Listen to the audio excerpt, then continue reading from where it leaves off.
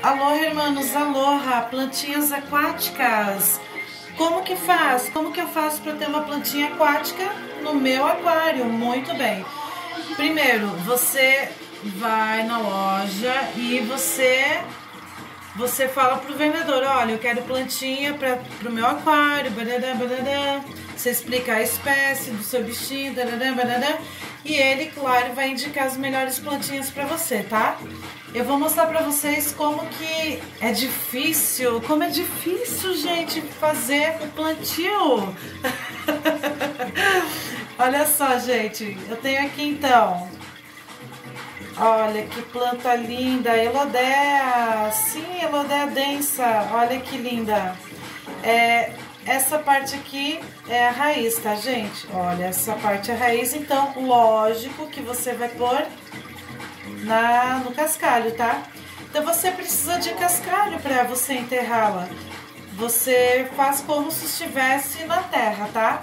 Você vai lá, faz um buraquinho, olha aí, ó, faz um buraquinho e planta, joga cascalho em cima, entendeu? Enfim, pode ser cascalho, pode ser pedra, tudo, tudo depende do seu aquário, do objetivo. Olha aí, ó, ficou. Vamos lá para outro raminho. Olha, raiz, a planta, certo? Você vai lá, vou pegar essa parte aqui, acho que dá, dá pra ver melhor, né? Você faz um buraquinho, muito bem, coloca a planta, jogou, olha, ó. Olha que maravilha, gente. Joga a cascalho em cima, entendeu? Pedrinhas, barará, barará. Ficou. Muito bem. E o mais bacana é que tem plantas que você pode pegar o quê? Você pode pegar o raminho, ó. Tá vendo? Você pode pegar o raminho e pode continuar fazendo a, a plantação, entendeu? Então, assim, como eu falo pra vocês, tudo depende, a decoração, tudo depende do objetivo das plantinhas, né?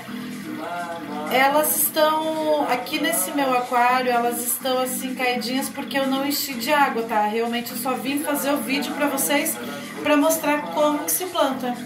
Então é isso, gente. Muito simples. Espero ter ajudado vocês. E se joga no Aloha Bio, plantações de plantinhas aquáticas. Tem algumas que multiplicam, tá, gente? Então é isso. Espero que vocês curtem e espero que vocês também tenham essa experiência incrível de criar o seu ambiente aquático e o mais bacana que o seu peixinho vai curtir muito.